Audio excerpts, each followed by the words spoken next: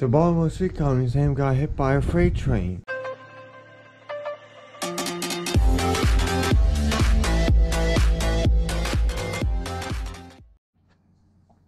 If you guys haven't heard, the train was involved in an accident with CSX at approximately 3 p.m. on Friday.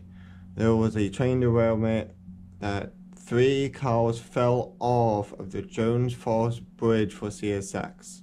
Nine total cars were off the track, and we are all okay. No one got injured, no cars were damaged. The only thing that really hurt us is our substation was completely destroyed. Not the physical electrical components, but the building.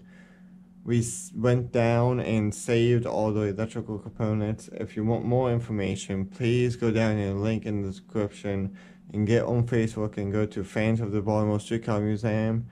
And there is a bunch of information, pictures, and videos on there about the situation.